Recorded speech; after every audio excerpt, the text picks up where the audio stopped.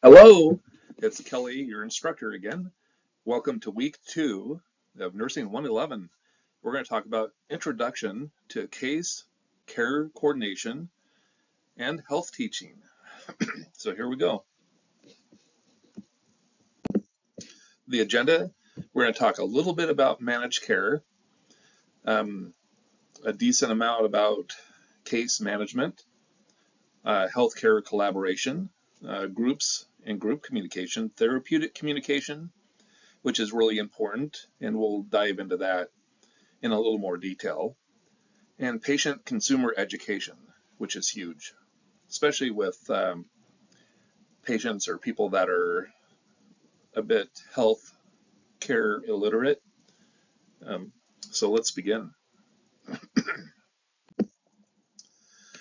First of all, managing care terms. So we have managed care, which basically is just the delivery, the healthcare delivery system. Um, it's set up to decrease cost and improve outcomes. Um, case management, where somebody or a team uh, coordinates care of a patient over time using a combination of health and social services basically to meet the needs of that individual. Patient-focused care, a delivery model that organizes healthcare around the expressed physical and emotional needs of the patient. And differentiated care, um, in which uh, each nurse's educational preparation and skill sets are evaluated to determine how best to use a particular nurse. And we have three things here, shared governance, case method or total care, and functional method.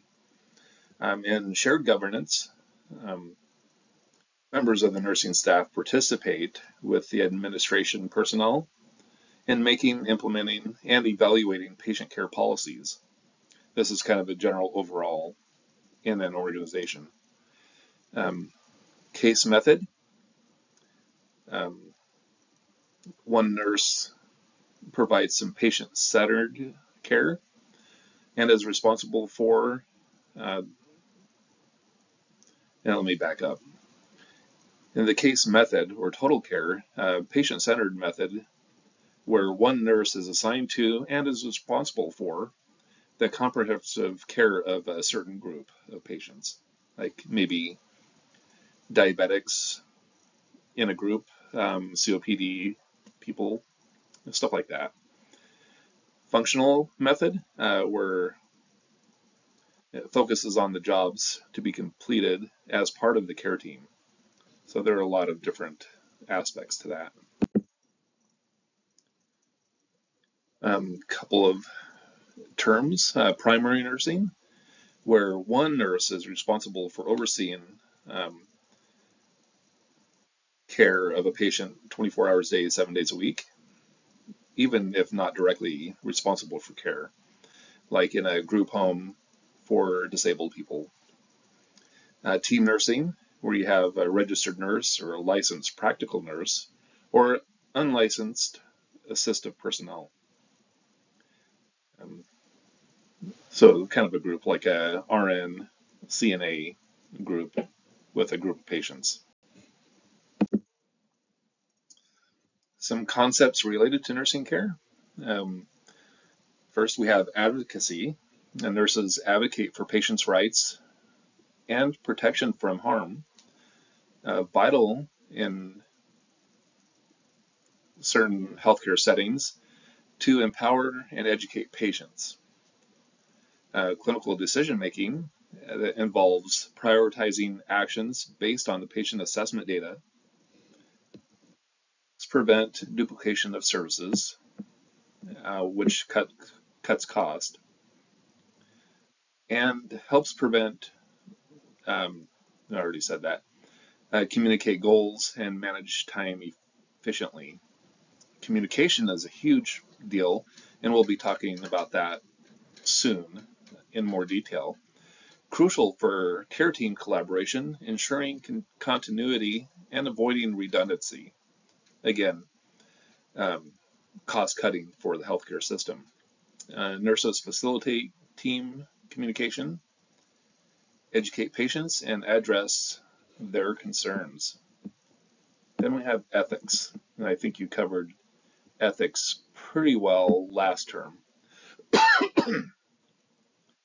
Ethical principles guide resource allocation and service delivery. Nurses uphold values such as trustworthiness, promote well-being, fairness, and, like doctors, do no harm. Then we have the healthcare system, or healthcare systems, involves coordinating services, managing resources, and controlling cost. Nurses work with within guidelines to promote comprehensive care requiring adaptability and creativity. And then teaching and learning. We're going to talk a lot about teaching and learning towards the end of this. Patient education is vital for maintaining health and preventing complications. Uh, nurses primary are primarily responsible for patient teaching, reducing costs, and mentoring less ex experienced staff. All right, so that's managed care. Let's talk about case management. Um, this describes a range of models um, that healthcare systems integrate for individuals and groups. Uh, there are key responsibilities, assessing the patients at their home and communities, uh, coordinating planned or coordinating and planning patient care in either of these settings, collaborating with other people in the healthcare system, dietitians, um, providers, uh, physical therapy, occupational therapy, etc., and monitoring patients' progress and evaluating patient outcomes from certain implementations. Um, and there's care management mo management model. We won't talk a lot about that. Similar to case management, but focuses more on populations of people or patients instead of individuals. The goal is to integrate a, career, a continuum of clinical services and concerned with promotion, uh, health promotion, disease prevention, cost control, and the wise use of resources. And here's an example of clinical pathway, and this is in your reading as well. I'll just keep it here for a few minutes, or a few seconds.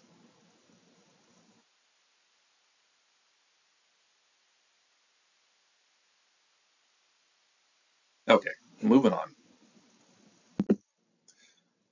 The nurse as a case manager. I don't have much written here, but I'm going to lecture on certain roles and what it means to be the nurse as a case manager. Sometimes it's a social worker, but we're going to talk about nursing. Excuse me. Um, first of all, the nurse is a case manager. Um, case management varies across healthcare settings. Uh, nurse case managers, often RNs, are 89% of the cases. Um, usually there's a certification requirement, including academic and experiential criteria. So they should have been a nurse for a while. A role of the case manager, or the role of the nurse as a case manager, uh, coordinating all aspects of care for particular patients or groups, advocate for patients throughout their care journey, plan strategies to address individual patient problems, uh, varies by facility and unit, um, involving patient care facilitation, interprofessional team collaboration, and outcome monitoring. It's like if something isn't working well, do you want to continue to do the same implementation for care? Mm, probably not. You want to switch it up a little bit.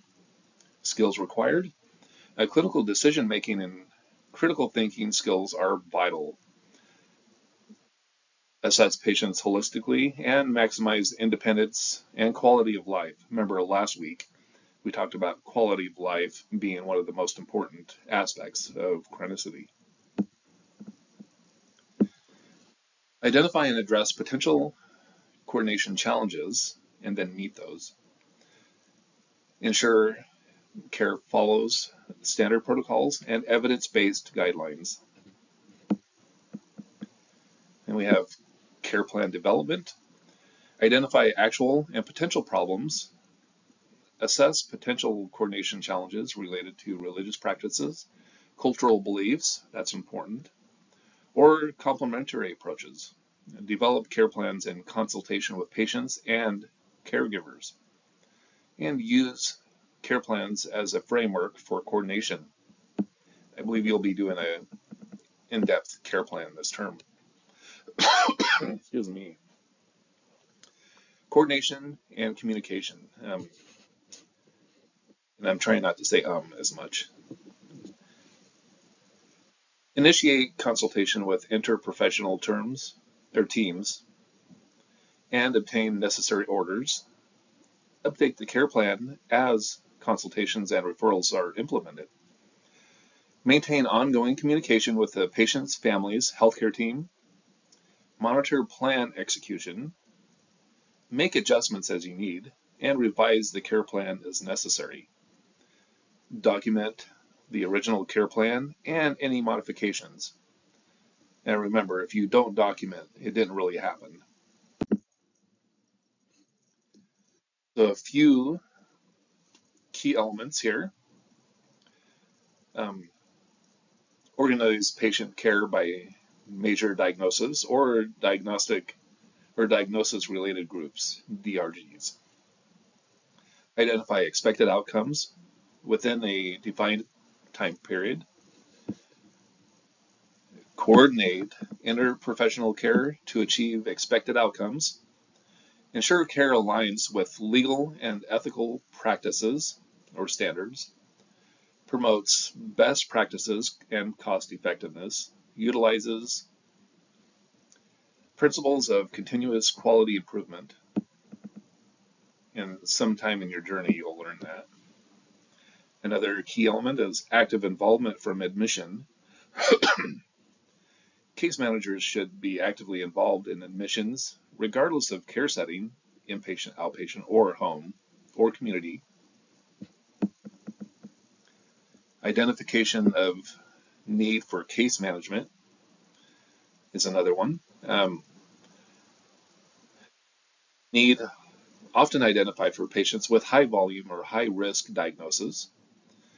High-risk case includes patients with multiple comorbidities, so multiple illnesses or um, chronic illnesses, long acute care stays, or requiring ventilator support or home health care.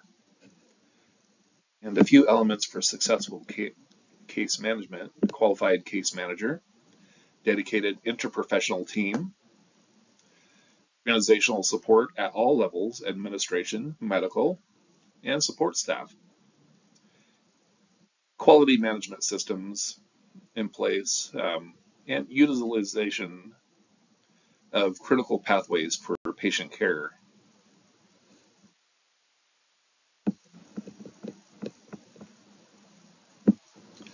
Let's see, let's move on.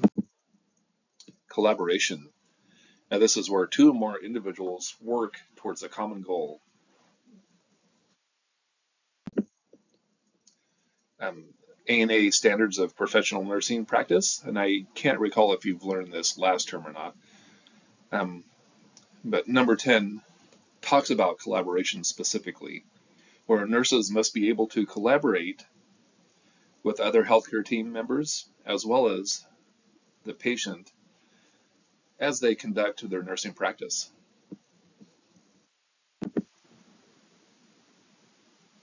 All right, moving right along.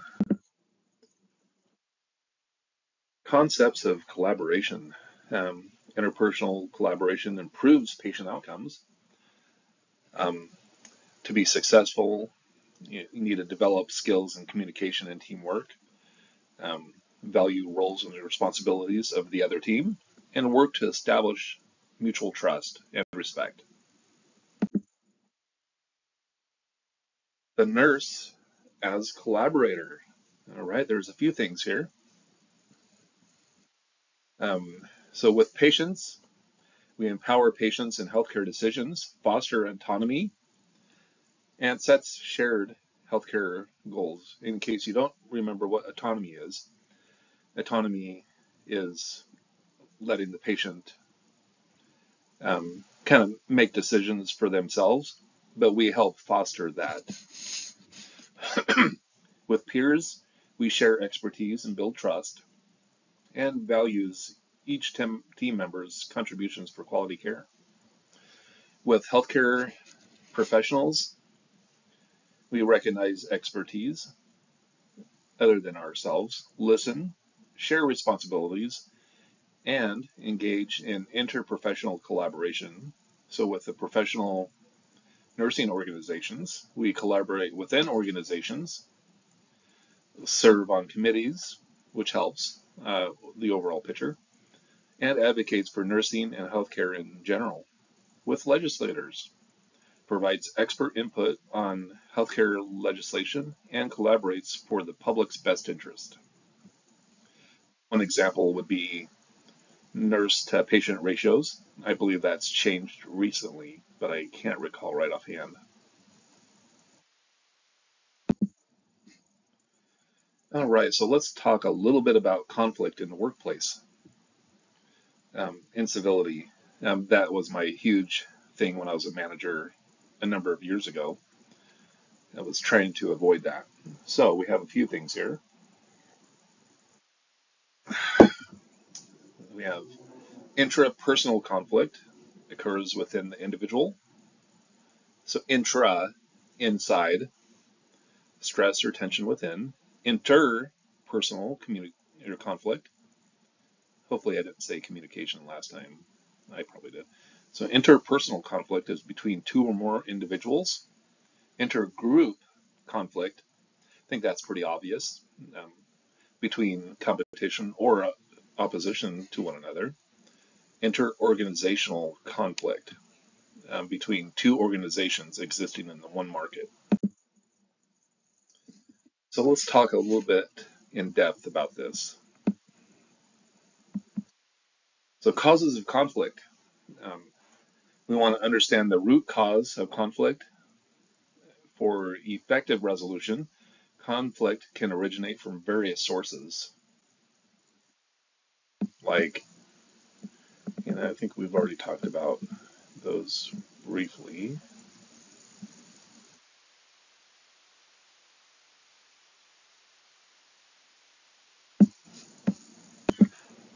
Okay, so back to causes of conflict. So individual conflict resources or sources uh, stem from personal attributes, communication styles, and how individuals manage and respond to conflict. Difference, differences in aspects can lead to interpersonal tensions. Interpersonal conflict resources or sources include conflict uh, that can emerge between individuals due to various factors, including uncivil behavior, varying levels of support, differences in communication styles, disparities in education, and influence of general, generational characteristics.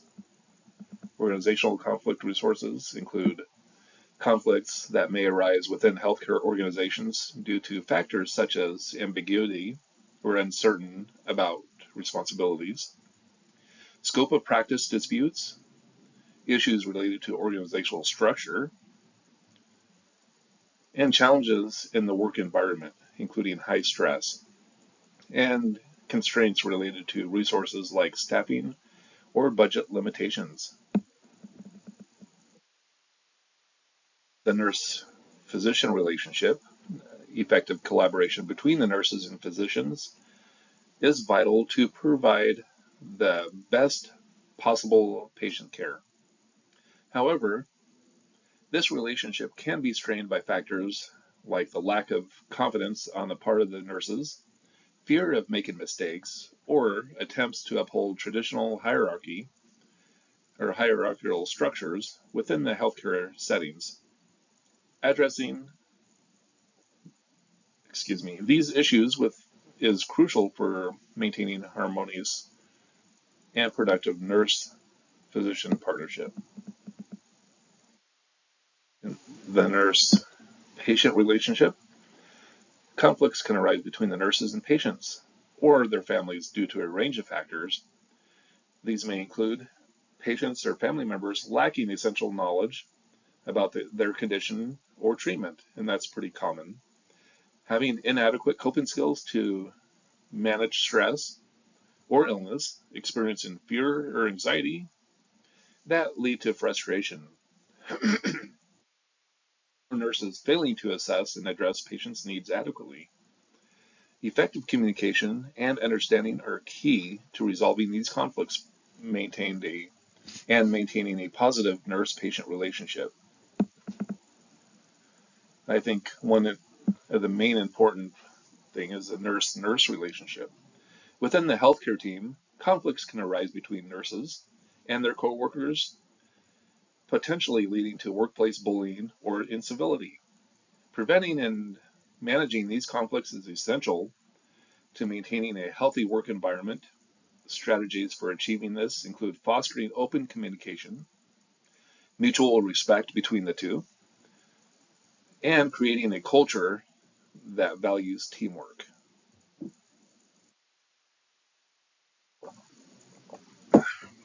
Preventing conflict. Conflict prevention involves several proactive measures.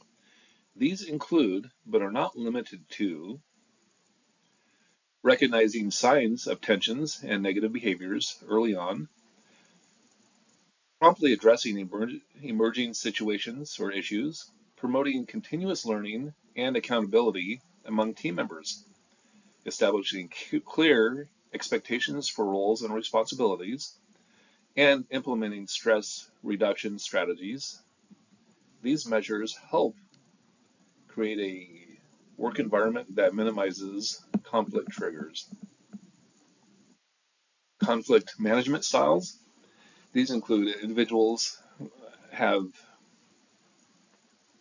different ways of responding to um, conflicts.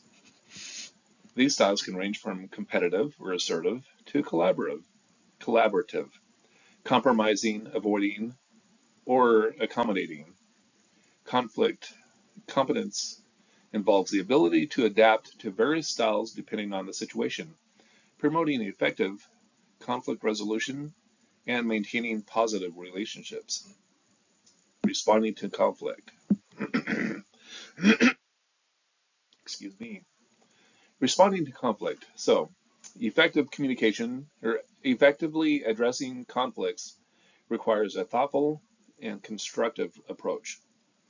This involves being honest and objective in decisions or dis, yeah, discussions, actively listening to all parties involved, and focusing on finding a solution that prioritizes patient care. By doing so, conflicts can be resolved in a way that benefits everybody. And managing, I think that's all we're going to say about that. All right. Okay, so let's talk about communication topics. We have group and therapeutic communication. All right, let's talk about group communication for a minute. Um, healthcare groups, uh, nurses often participate in a variety of healthcare groups, playing diverse roles as members or leaders, educators, learners, advisors, or advisees. These groups can encompass a range of purposes and structures with the common types including committees or teams. Now, these groups typically have a defined purpose and structure, meeting regularly to address specific issues. Examples include policy committees, quality improvement committees, and rapid response teams. Now, leaders within these groups are experienced in the field and facilitate communication among members. Task force um, are temporary work groups performed for specific activities, such as accreditation preparations or health fairs. They function similarly to committees, but have limited duration of work. Teaching groups aim to impart information to participants encompassing topics like continuing education or patient healthcare education. Nurses leading these groups must be skilled in teaching learning process. We'll talk about that later. Self-help groups, um, compromising comprising individuals sharing common health issues, help or self-help groups operate on the principles that helping others with similar struggles can be therapeutic, including examples include Alcoholics Anonymous and cancer survivor groups. There are a couple of others, but we won't get into that for time. Therapeutic communication. Um, and we're going to dive into that pretty good. Um, here are two therapeutic communication and therapeutic relationship. So the therapeutic relationship, it's patient focused. So we want to seek to trust and understand between the nurse and the patient. Um, respect. We want to consider their ethic, their ethnic, cultural, and family values. Privacy and confidentiality. You want to respect the patient's modesty, privacy, and confidentiality, obviously. Uh, patient well-being. Um, that just basically centers on the patient's well-being. And mutual trust and acceptance. A few phases. Um, we have the pre-interaction phase, so gathering initial patient information. And let's see, introductory phase, so establishing trust and helping the patient feel safe work phase we, where we identify problems and treatment plans, empathizing, empathy, respect, and genuineness. And then the termination phase, concluding the relationship and possibly through transition or follow-up support. We want to develop this. Uh, we help identify feelings.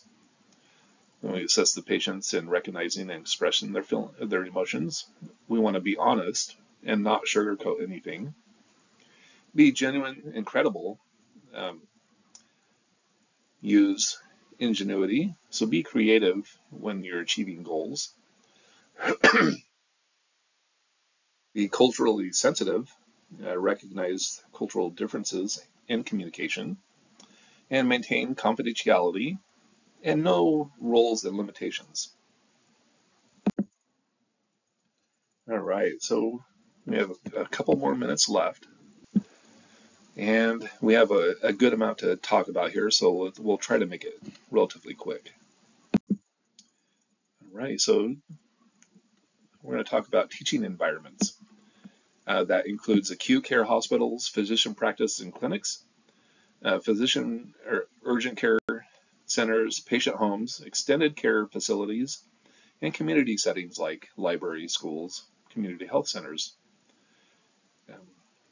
teaching individual patients. The goal is to improve patient and family health, utilize learning theories, change process and evidence-based approach, following nursing process of assessment, planning, implementation, and evaluating, um, setting up individualized teaching plans.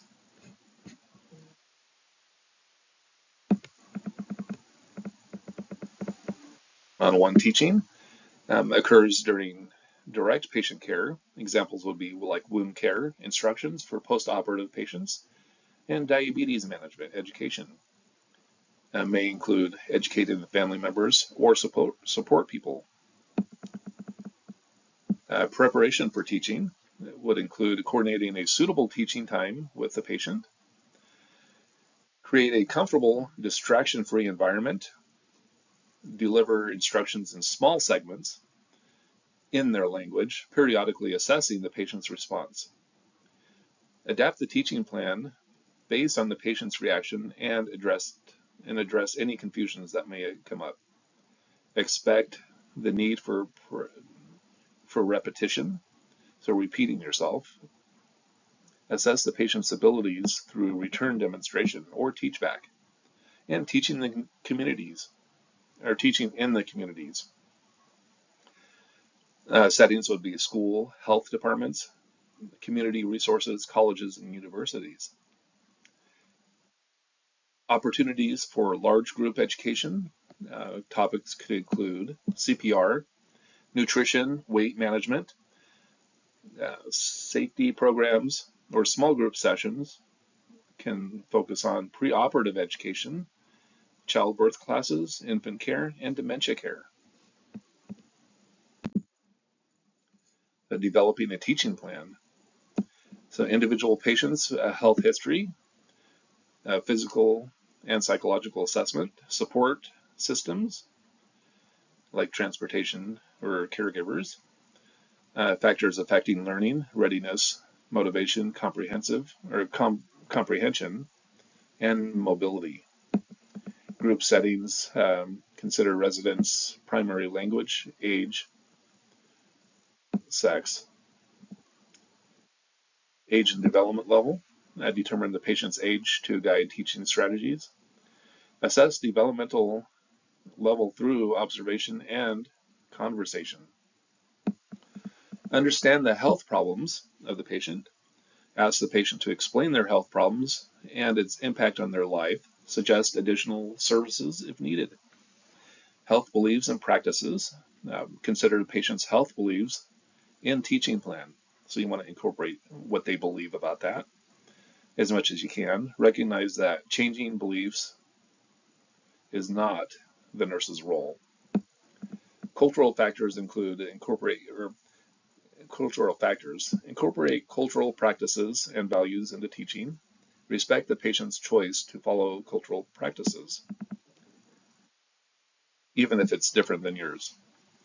Economic factors. Um, consider patients' social socioeconomic status when planning education. Recognize limitations in financial resources, learning styles. Um, identify patient's learning style. Was it, is it visual, reading, hands-on, or in groups? Uh, vary teaching methods to accommodate different styles Support systems include uh, identify family or support systems uh, who need to learn alongside the patient. Using physical examination, observe cognitive status, mobility, nutrition status, energy during physical examination, assess sensory status, vision and hearing. Let's see, for time, let's move on identify the patient's learning needs. Um, learning needs linked to a primary concern or problem, reduce or resolve the issue. Examples would be teaching the patient to administer insulin for diabetic management. Learning needs in this context can be identified as educational requirement, education need, or need for teaching. Desire to learn is kind of big. Uh, can also indicate a primary concern for learning. Non-compliance or non-adherence may be used when a patient has difficulty following the care plan due to various factors, but not cognitive deficits or conscious refusal of care. Learning needs as a response to health alterations.